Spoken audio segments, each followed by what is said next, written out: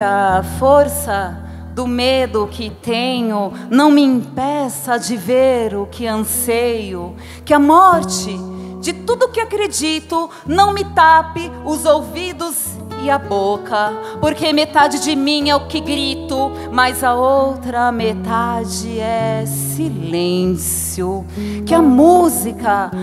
a música que eu ouço ao longe, seja linda, ainda que triste, e que a pessoa que eu amo seja sempre amada, ainda que distante, porque metade de mim é partida e a outra metade é saudade. Que as palavras que eu falo não sejam ouvidas como prece e nem repetidas com fervor, apenas respeitadas como a única coisa que resta a uma pessoa inundada de sentimentos. Porque metade de mim é o que ouço e a outra metade é o que calo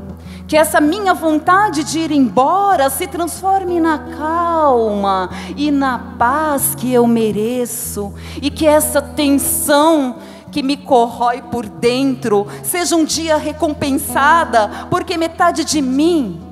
é o que penso, mas a outra metade é um vulcão. Que o medo da solidão se afaste e que o convívio comigo mesmo se torne ao menos suportável, que o espelho reflita em meu rosto um doce sorriso que me lembro ter dado na infância, porque metade de mim é lembrança do que fui e a outra metade eu não sei.